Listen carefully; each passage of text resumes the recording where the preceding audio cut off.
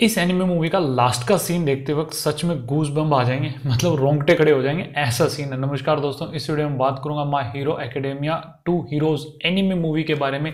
इसके बारे में अगर थोड़ी जानकारी मैं दूँ तो इससे पहले इसके चार सीज़न आ चुके हैं, जो अभी तक मैंने दो सीज़न का रिव्यू कर दिया है। आप चाहें तो इसी चैनल के ऊपर जाकर उनको देख सकते हैं। थोड़े बहुत व्यूज़ बढ़ा देना। बट बट बट पहले ये वीडियो पूरी देख के जाना। कहीं यही बीच में छोड़कर भाग जाओ। और अभी इसका फिफ्थ सीज़न आने वाला है। खैर, अब इस मूवी के बारे में बात कर लेते हैं। तकरीबन एक घंटा तीस मिनट लंबी ये मूवी है। कहानी के बारे में बात करूँ तो डेकू और ओलमाइट दोनों एक आइलैंड के ऊपर जाते हैं जो बहुत ज़्यादा एडवांस है। उनको इस आइलैंड पे इन्वाइट किया जाता है। जो ओलमाइट का एक दोस्त होता है, उसकी बेटी ने इसको इन्वाइट किया होता है। खैर, वो क्यों किया होता है? जब आप ये मूवी देखोगे तब समझ जाओगे। और इस आइलैंड पर विलन्स आ जाते हैं और इस आइलैंड को अपने कंट्रोल में ले लेते हैं। अब कैसे ओलमाइट या फिर डेकू, ये दोनों कैसे इस आइलैंड पे फंसे हुए लोगों को जो होस्टेज बना लेते हैं ये विलन कैसे इनको बचाते हैं? तो इन सब चीज़ों के लिए तो आपको ये मूवी देखनी पड़ेगी और कुछ एक ट्विस्ट भी आते हैं जो काफ़ी ज़्यादा अच्छे हैं। ज़ाहिर सी बात है कि ऑलमाइट जो इन होस्टेज को जैसे जैसे बचा भी लेता है, लेकिन जो लास्ट में जो फाइट दिखाई जाती है, वो यार एक्सट्रीम लेवल की होती है। इतनी ज़बरदस्त फाइट मैंने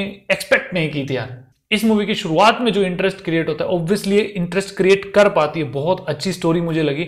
और लास्ट में जितना स्टार्टिंग में इंटरेस्ट क्रिएट हुआ था, उससे डबल या ट्रिपल यानी मैं कहूँगा कि बहुत ज़्यादा इंटरेस्ट और ज़्यादा क्रिएट हो जाता है। जैसे कि मैंने स्टार्टिंग में कहा लास्ट की फाइट देखते वक्त तो भाई साहब गूज बम्स आ जाएँगे मतलब रोंगटे खड़े हो जाएँगे। एक्चुअल में हो गए थे यार। सॉरी सॉरी अगर मैं आप लोगों को स्पॉइलर दे रहा हूँ तो बट क्या करूँ? इतना ज़्यादा एक्साइटेड हो अपने आप को रोक नहीं पा रहा कि उस सीन के बारे में आपको बताए बिना। खैर, छोटा सा अगर एक आप आप लोगों के साथ एक छोटा सा एक सीन डिस्कस करूँ। सॉरी मैं आप लोगों को ज़्यादा डिटेल नहीं दूँगा बट मन कर रहा है ना यार, थोड़ी बहुत तो बताने की इच्छा हो रही है। तो डेकू और ऑलमाइट एक विलन के अपोजिट फाइट कर रहे हैं, दोनों के दोनों। और जहाँ पर डेकू को अपनी पावर यूज़ करते हुए दिखाया गया, उसका बिहेवियर चेंज करते हुए दिखाया, वो भाई साहब बहुत ज़्यादा अच्छा होता है, एकदम हीरो बनकर वो सामने आता है ऑब्वियसली होता है, लेकिन उसको एक अलग ही परस्पेक्टिव से ये पेश करते हैं। इस एनिमे सीरीज़ या इस एनिमे मूवी की सबसे अच्छी बात मुझे ये लगती है कि इनके सामने जैसी भी परिस्थिति आ जाती है, जैसी भी सिचुएशन आती है, जैसे कि ऑलमाइट उसके सामने तो भाई साहब ऐसी सिचुएशन आती रहती है कि अपने आप को हर टाइम ये पुश करता रहता है, डेकू भी अपने आप को हर टाइम पुश करता है, हर एक करेक्टर अपने आप को पुश करता मतलब वो हार नहीं मानता।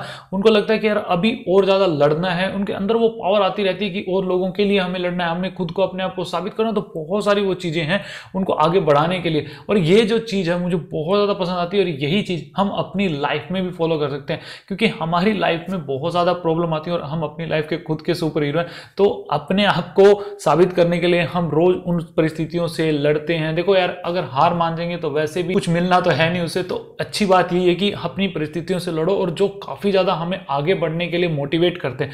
अब एक चीज़ जो है कि अपनी लाइफ में हमें आगे बढ़ने के लिए जो मोटिवेशन बाहर से लेते हैं, वो बेटर ये होगा कि आप अपने अंदर से वो मोटिवेशन जगाओ। क्योंकि आप खुद को अगर मोटिवेट कर पाए तो इससे बड़ी कोई चीज़ नहीं होगी। इस एनिमो मूवी की कहानी कितनी अच्छी है या कितनी बुरी, इसके बारे में बात करूँ तो मुझे इसकी जो स्टोरी है, वो काफ़ी ज़्यादा पसंद आई।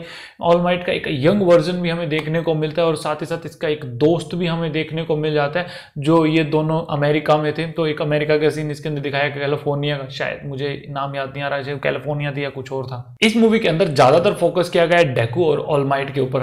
ऑब्वियसली इसके जो बाकी जो क्लासमेट थे डेकू के जो क्लासमेट थे, वो आते हैं इस आइलैंड के ऊपर और उनकी भी थोड़ी बहुत इसमें फाइट दिखाई जाती है, लेकिन मेन फोकस इसमें दिखाया गया है डेकू और ऑलमाइट और मैं ज़्यादा कहूँगा कि डेकू के ऊपर ज़्यादा फोकस रहे। इसमें उसे इस तरीके से रिप्रेजेंट किया गया कि हाँ ऑलमाइट ने उसे अपना सक्सेसर चुना है तो बहुत सही सोच समझ के चुना है और वो इस चीज़ के लिए काबिल है कि हाँ वो जो वन फॉर ऑल जो पावर है, वो उसको संभाल सकता है और ये सब चीज़ें हमें लास्ट के सीन में दिखाई जाती हैं। मेरे तरफ़ से इस एनिमे मूवी को दूँगा मैं seven out of ten star अगर किसी ने मूवी देख रखी तो प्लीज़ कमेंट करना कि आप लोगों को एनिमे मूवी कैसी लगी। अगर नहीं देखी तो जाकर देखो, बहुत ज़्यादा अच्छी मूवी है। तो बस आज के लिए इतना रखते हैं इस वीडियो में। Thanks for watching this video मिलते हैं नेक्स्ट वीडियो में।